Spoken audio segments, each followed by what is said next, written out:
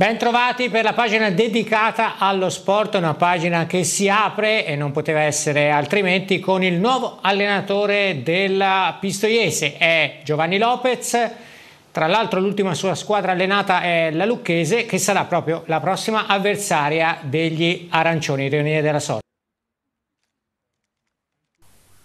Dopo aver firmato tempo di presentazione, primo allenamento con la Pistoiese, così è iniziata l'avventura del nuovo allenatore Giovanni Lopez.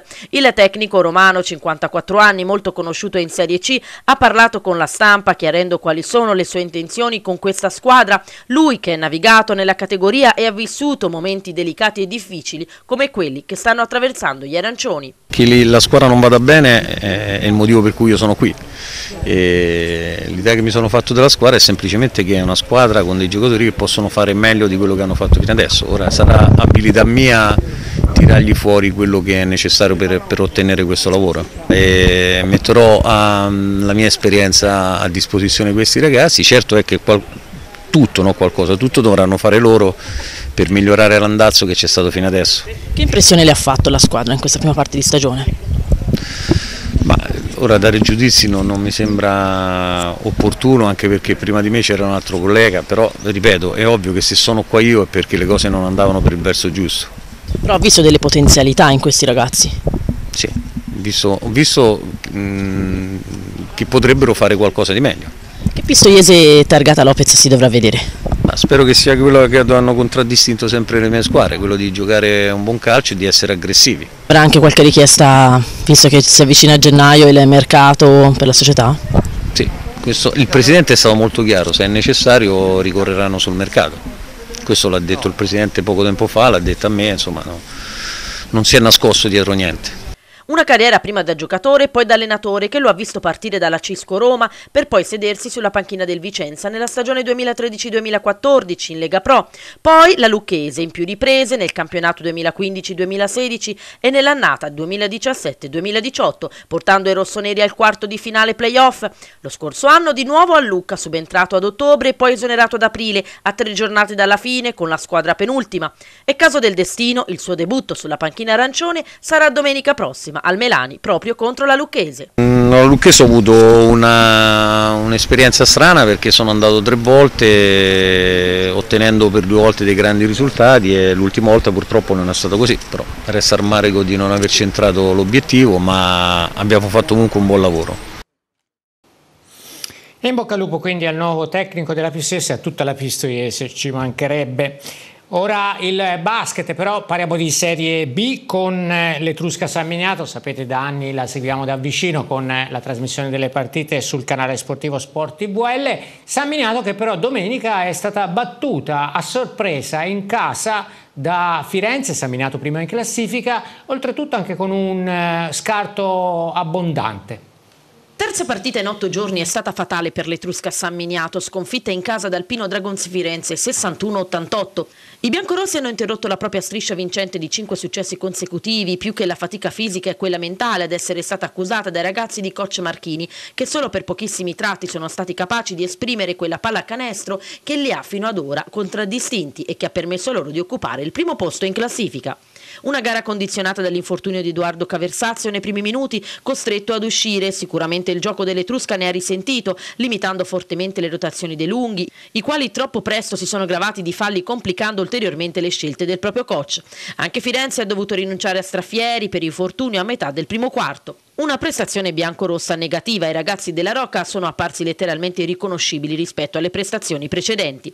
E se una giornata negativa al tiro, 14% da tre punti, 53% dalla lunetta, ci può stare, quello che maggiormente colpisce sono gli 88 punti subiti. Anche a rimbalzo c'è stato il dominio ospite, ma se i 35 rimbalzi difensivi di Pino sono figli di tanti errori al tiro dell'Etrusca, i 15 offensivi contro gli 8 subiti di media dimostrano un eccessivo livello di distrazione dei locali. Primo quarto molto equilibrato equilibrato, chiuso dall'Etrusca sul più 7. Nel secondo Firenze è uscita fuori, trascinata dai suoi lunghi, Castelli 7 punti e Di Pizzo 4 punti, che ha ribaltato il punteggio passando dal meno 7 al più 7.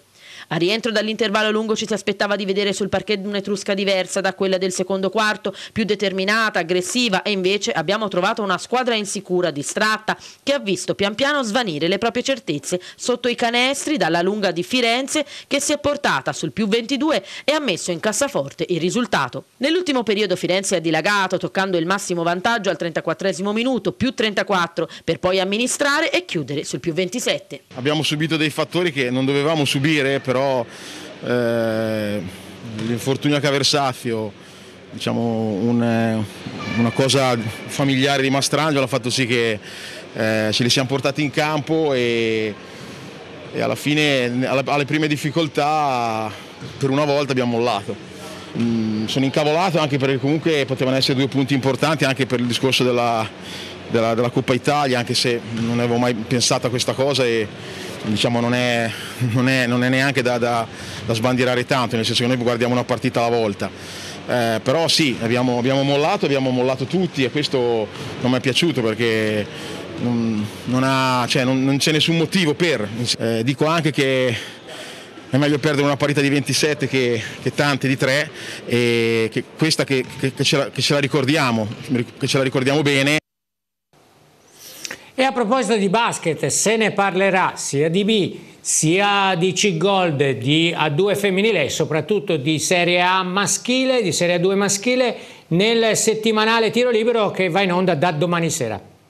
Questa settimana ospite di tiro libero Luca Angella, vice coach della Giorgio Tesi Group. Luca, ben trovato qui con noi. Una bella Giorgio Tesi Group, una bella vittoria con Treviglio, una bella classifica. Sì, sinceramente siamo in un periodo positivo, in un periodo lungo positivo, per cui speriamo di portarlo più a lungo possibile. Domenica arriva Orzi Nuovi, poi prima di Natale il 22 dicembre una partita contro Capodorlando, una partita di recupero. Sarebbe importante una doppietta per poter arrivare a Natale a passare delle belle feste. Per fare delle belle feste felici e soprattutto per dimostrare che non sottovalutiamo gli impegni di seconda fascia cosiddetti, per cui è un, grande, è un bel test, un test divertente da affrontare. Tra l'altro Pistoia ha anche la possibilità con questa posizione in classifica di, di qualificarsi per le Final 8 di Coppa Italia, un obiettivo importante. Assolutamente, anche perché a inizio anno non era un obiettivo dichiarato e quando arrivi a poterli toccare gli obiettivi poi ci viene voglia di afferrarli. E per questo tuo ruolo di vice coach come lo stai vivendo? Bah, sono molto contento anche perché abbiamo tanto spazio, assistenti, Nicola è una persona super che ti coinvolge, per cui la, il, lo staff è molto unito come la squadra e il resto, per cui sono molto contento. Appassionati di basket, torna la nuova stagione di tiro libero, interviste esclusive, come sempre immagini esclusive, ospiti sempre in studio, naturalmente parleremo di Giorgio Tesi Group, la seconda annata in Serie A2, ma quest'anno una novità con la Serie C Gold parleremo delle due squadre di Montecatini, Quarrata, Agliana, insomma una scorpacciata di basket sempre solo su TVL, mercoledì alle 18.30. E in chiusura vi lascia un servizio che mh, mm, parla, diciamo, fra virgolette di calcio, ma più che altro insomma, un avvenimento legato in qualche modo al calcio, tra l'altro al calcio femminile. Eh, ben vengano di queste eh, iniziative che insomma, eh, ci fanno conoscere il mondo del calcio femminile da un altro punto di vista. Per quanto ci riguarda è tutto, grazie per la cortese attenzione.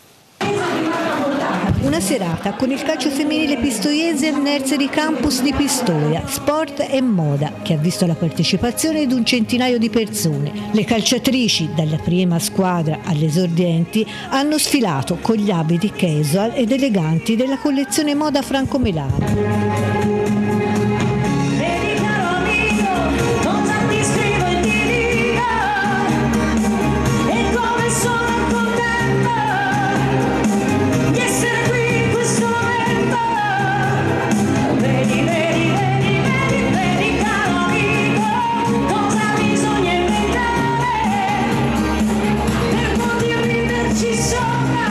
Durante la serata è stato presentato il calendario 2022 Arte e Giocolieri, realizzato con le foto delle calciatrici. L'iniziativa, a scopo benefico, essendo ricavato una forma di finanziamento a favore dello sviluppo del settore giovanile del club.